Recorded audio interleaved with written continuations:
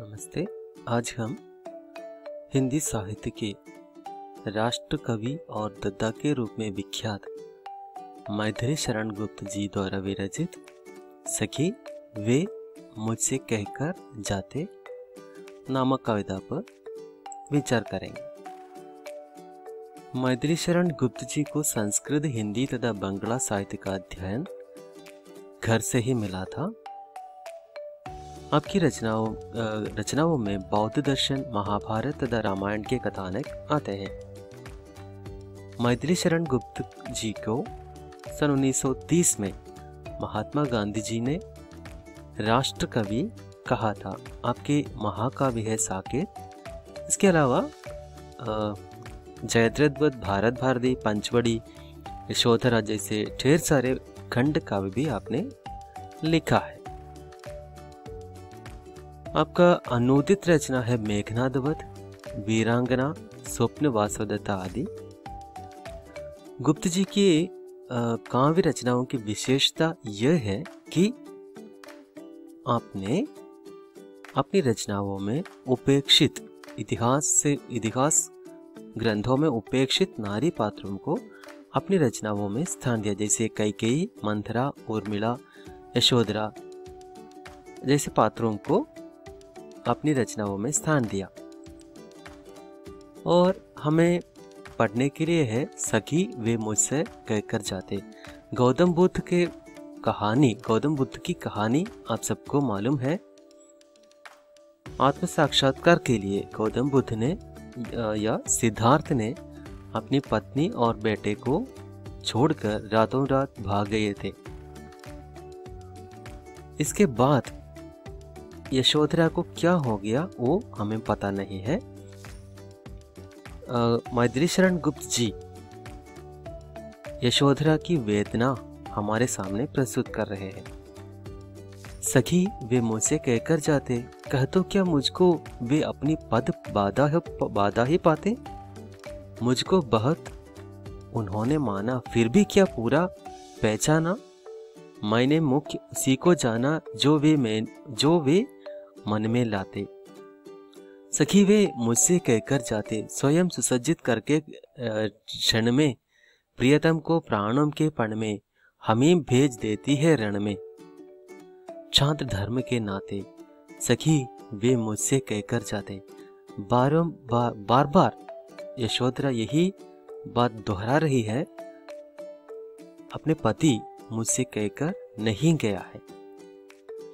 हुआ न यह भी भाग्य अभागा, किस पर विफल गर्व अब जागा।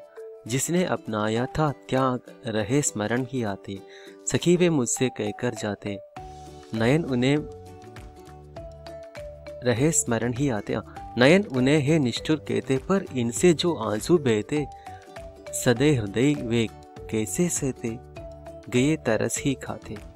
सखी वे मुझसे कहकर जाते, जाए, सिद्धि पावे वे सुख से। दुखी न हो इस जन के दुख से।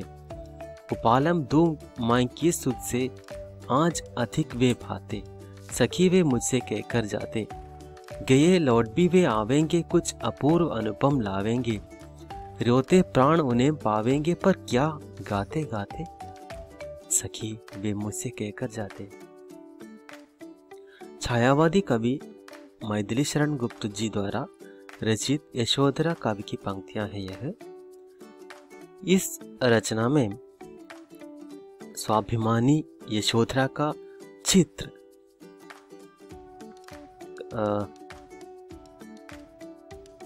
कवि ने हमें दिया है। यशोधरा का मानना है कि सिद्धार्थ ने जो कृत्य किया, उसे सभी नारी जाति अपमानित है। उन्होंने रात में सोते बच्चे व पत्नी को छोड़कर गया, जो नारी समाज के लिए कलंक है। यशोधरा को यह दुख हुआ कि उसकी पति को जाना ही तो था, उन्हें बताकर जाना था। यशोधरा कह रही है, अगर पति मुझसे कहकर जाते तो मैं कभी भी उनकी राह में बाधा नहीं डालती। अपने पति को एक नई सिद्धि मिले तो उसमें कौन पत्नी बाधा डालना चाहेगी? मैं क्षेत्राणी हूँ, क्षेत्राणी क्षेत्राणी पत्नी पति को सुसज्जित करके ऋण में भेजने वाली है।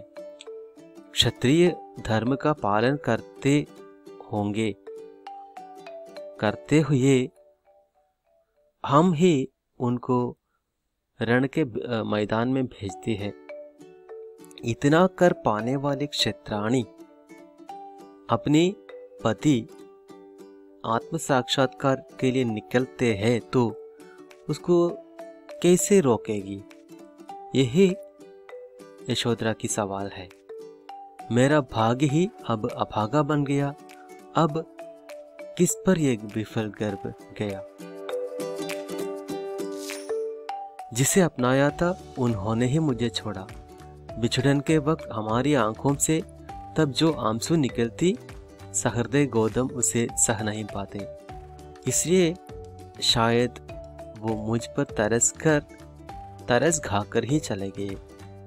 अब शायद चिंता हुई होगी सिद्धार्थ को शायद मेरे पत्नी मुझे जाने नहीं देंगे।